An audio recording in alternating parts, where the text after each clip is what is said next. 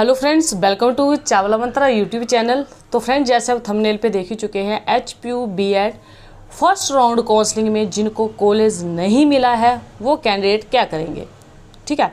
Next है second round counselling में फिर पाँच सौ फ़ीस लगेगी। यानी कि जिन्होंने फ़र्स्ट राउंड काउंसलिंग अप्लाई किया था क्या उनको पाँच सौ रुपया फ़ीस लगेगी या नहीं लगेगी? तो मैं आपको पूरा बताऊँगी इस वीडियो में। तो सबसे पहले फ्रेंड जिन्होंने अभी तक चैनल को सब्सक्राइब नहीं किया है तो प्लीज़ चैनल को सब्सक्राइब कर दे वीडियो को लाइक कर दे। तो चलिए फ्रेंड्स वीडियो को शुरू करते हैं ठीक है?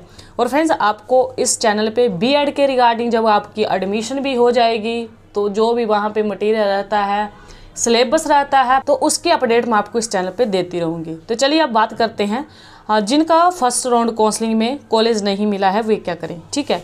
तो फ्रेंड्स आपको क्या करना है? आपको सेकेंड राउंड काउंसलिंग अप्लाई करना है। ऐसा नहीं है कि आपने फ़र्स्ट राउंड काउंसलिंग अप्लाई किया है, आपको सीट नहीं मिली है। इस डॉट को लेकर कैंडिडेट ने मुझे काफ़ी ज़्यादा मैसेज किए हैं कि हम क्या करें? हमें कॉलेज नहीं मिला है। हम कहीं डिस्क्वालीफाई तो नहीं हो गए हैं। तो ऐसा नहीं है, ठीक है?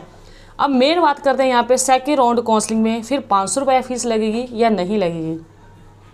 तो फ्रेंड्स मैंने पिछले महीने दो दिन वीडियो बनाई थी, उसमें मैंने बताया था कि जो आपकी पाँच सौ रुपये फ़ीस लगती है, ये आपकी एक बार लगती है। ठीक है? यानी कि जिन्होंने फ़र्स्ट राउंड काउंसलिंग अप्लाई किया है और जिन्होंने पाँच सौ रुपया पे कर दिया है, अब उनके सेकेंड राउंड काउंसलिंग में कोई भी फ़ीस नहीं लगेगी।